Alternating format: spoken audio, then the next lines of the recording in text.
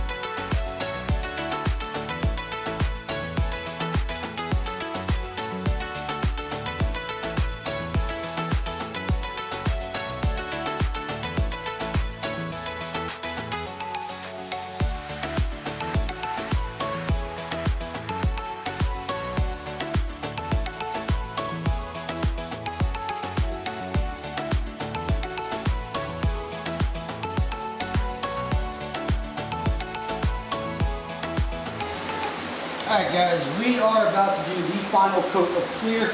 This will be two coats of primer, one coat of sealer, three coats of base, and three coats of clear. We're gonna hit it on pretty heavy. We don't want it to run, but so we're not gonna do super heavy, but we're gonna get this done right now and be done with this because this has been a long, long day. So here we go, guys. Let's start this up right now.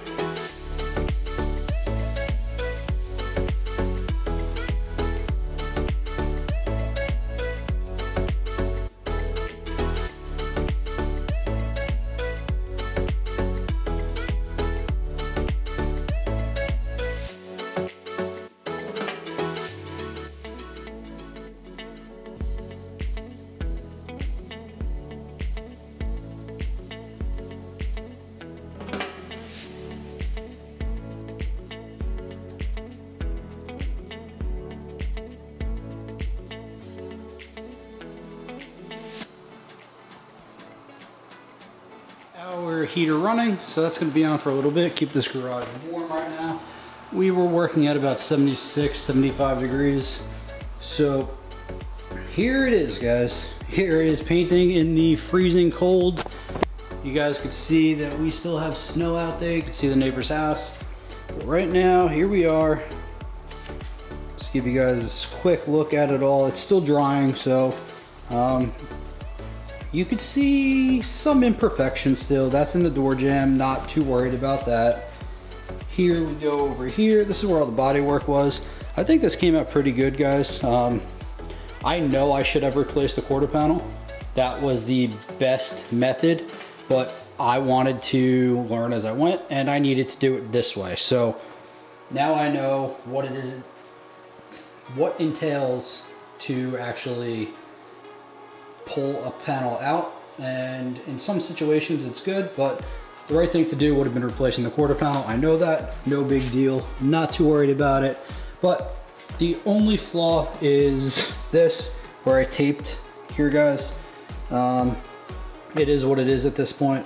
I'm probably gonna redo this come summer and I'll just you know sand down this little portion I'll make sure that it's nice and I'll just hit it with a uh, you know primer and base coat. I got a bunch left over, so we'll take care of that come summer. But right now, this is uh, this is pretty good. And so we blended it. Um, we won't see it all until we actually take all this off. But right now we are still drying. Did our door handle. Hopefully you guys can see that. Our door itself, I think came out really nice. There is a potential for a tiger stripe right in here but we'll see how that looks. Um, all in all, I think it came out pretty good over here. Um, I put a lot of clear on the edges, so I'm gonna make sure that I don't sand through them. I'm not going through this again. I'm not doing the same thing I did with the A7. So we're gonna do this correctly this time. So paint looks awesome. You got the fender up here. We do have one little drip there, so we're gonna have to sand that out a little bit. Came out really nice as well. Got a rocker panel down here. That looks good. And our little door cap. Don't want to forget that bad boy. And our bumper. Bumper came out really well as well. So very happy with it. Um, this is where we did the body work. You, I mean, if you're looking for it, I guess you could see it like right in here. Um, but that's me. That's me not being perfect at this stuff yet. But all in all, we have a little bit of orange peel uh, that's more or less expected. That should buff right out. I do not see any fish eyes though, guys. Very, very psyched about that. No fish eyes. If this is just an orange peel buff, this is gonna be super simple. So all we have to do is just let this cure. I'm gonna research how long I wanna let it cure and we will buff it out. We'll put it on the car. We're probably not gonna do anything with the inside here, so we can probably get everything on the vehicle itself and then we will be able to buff it all out all at once, hit it real nice, hit the bumper, maybe do a paint correction for the entire car, and make this look super awesome, guys. This car is towards the end of its build and I am almost upset that I'm giving it away, but it's gonna be an awesome car. My nephew's gonna love it, and I think it came out really well. That's gonna do it for today's episode, guys. You saw that it's super snowy out. Um, this is filmed a little bit in the future because it was so cold. Um, but what we had to do was we beat the clock, we used some ingenuity, we cleaned it up, we heated up the garage, we did what we had to do. So we made the most of it. Paint did not come out super perfect, but it went a lot better than it did on the A7. So we're learning as we go. This time was a lot easier than the last time. And for the most part, very happy with it. So if you guys are new here, hopefully you guys learn alongside me. Consider subscribing down below, smash that like button. Everyone else, thank you guys so much for being here and continuing to support me.